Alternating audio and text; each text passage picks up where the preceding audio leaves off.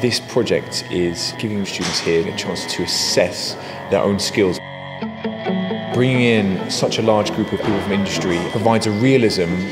It's that realism that allows the students to understand the exact feedback that we get day to day in a real life assessment centre.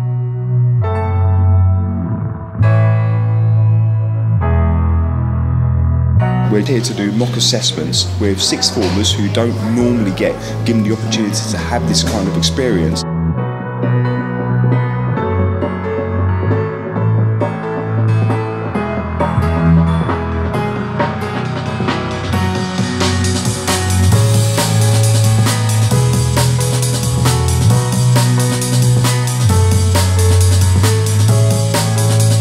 Really felt to me like this is an environment that's safe and you're going to leave feeling good about yourself, not completely discouraged.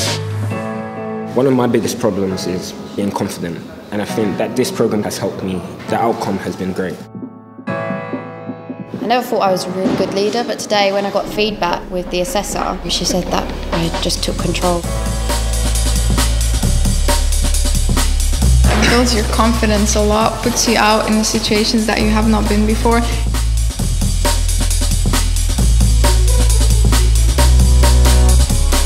I'd say that it's definitely worthwhile. It really teaches you a lot about how to work with many different types of people, and it teaches you a lot about business and how to work effectively, not only as a team, but as a leader. I think the quality of people that we've got coming in have really made a difference.